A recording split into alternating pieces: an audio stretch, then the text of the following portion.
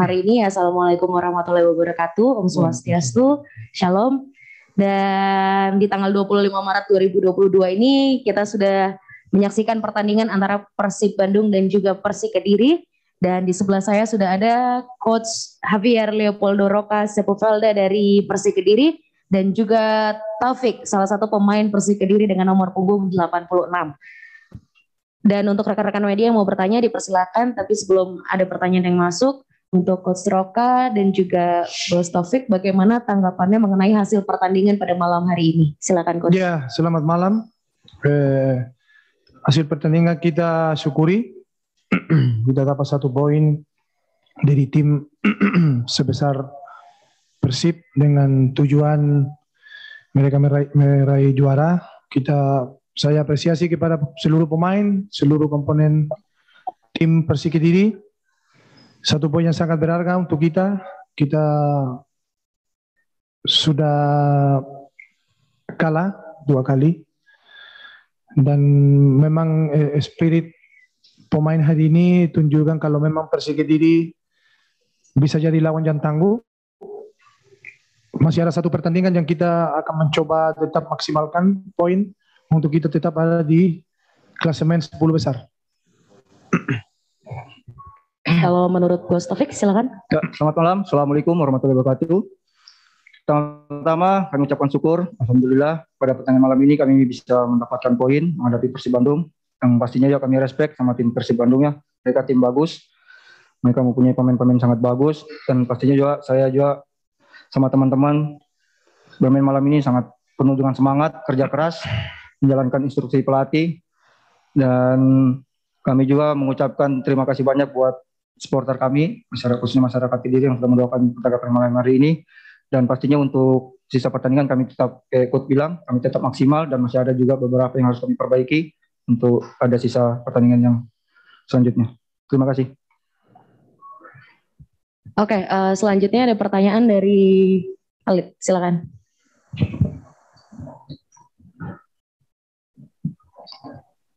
Banyak Alif nih. Hmm?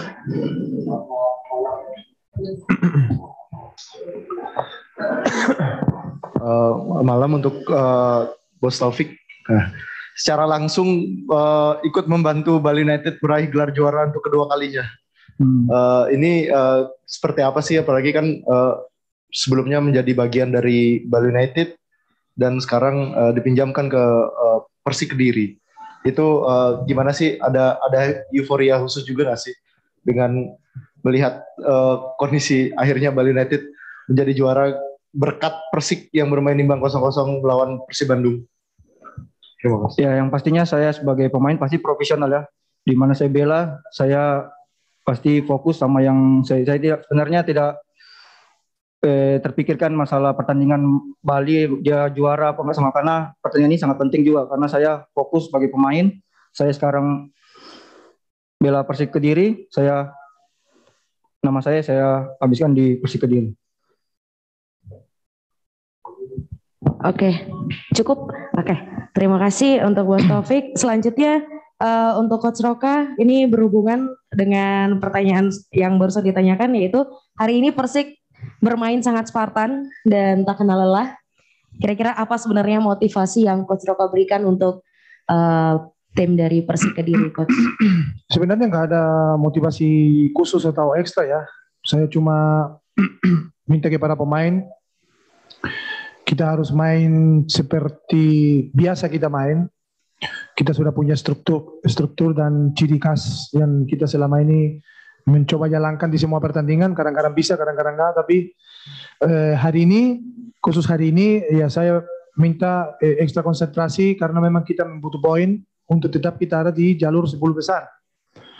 Jadi lebih dari itu tidak ada, tidak ada khusus seperti kata Taufik, kita nggak ada tujuan untuk apa, untuk pikirkan eh, pertandingan yang lain, kita fokus ke permainan yang awal dan dari awal kita memang masuk ke lapangan untuk meraih tiga poin dan kalau bisa ya kita bersyukur dapat satu. Jadi sebenarnya eh, secara khusus nggak ada motivasi-motivasi ekstra.